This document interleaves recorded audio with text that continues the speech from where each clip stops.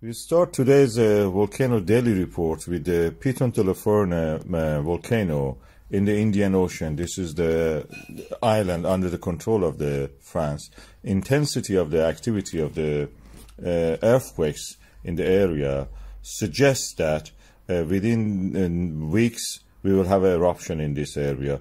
The volcano is uh, is preparing to build up pressure and erupt. These are the tectonic uh, seismic uh, activities, all around one or less uh, in magnitude, and they're just showing the bubbling of the magma emplacement within the chamber and getting ready to practically build up the pressure, come to the surface with enough pressure behind it.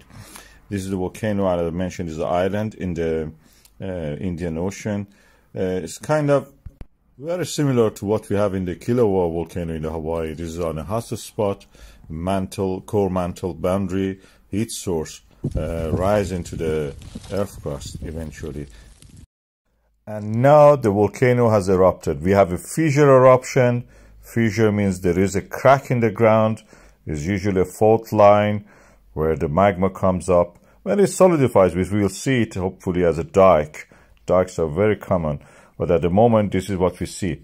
A fissure eruption. Volcano erupts along a fault line in this spattering uh, manner. The magma is very uh, runny, so the basalt is produced by this magma and it flows easily down the slope. This is a volcano which is very similar in a way to the Hawaiian volcanoes, fissure eruptions in this setting of the oceanic uh, mantle core a hotspot setting is very common as you can see here now. Our helicopters are actually showing this. This is in the, remember, this is in the Indian Ocean, a territory under the control of France. And as you can see, the eruption has started along that crack in the ground, the fissure eruption. You can see here is numerous volcanoes, smaller volcanoes. They are not, uh, you know, very big or huge, but they gradually will build up.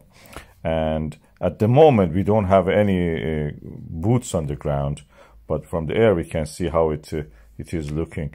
Very interesting. Seismic activity was not telling us a lie. It was correct. Eruption happened.